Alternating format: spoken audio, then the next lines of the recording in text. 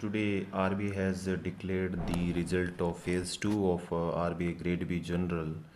And I'm very happy that I have received quite a number of emails wherein candidates have appreciated my videos and they have given a full credit to my videos for their selection in phase 2 Grade B DR and I hope that uh, all of you who have been selected in RBI Grade B will start preparing for the interviews we have made some videos on the interviews which you can watch. These videos are very helpful for RBI grade B interviews.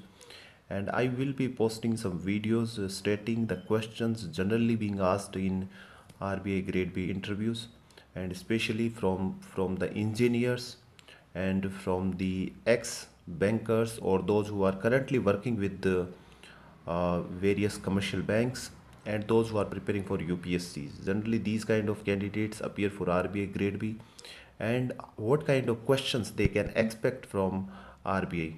So uh, in the interview, so these things I will be posting in the inter in the video.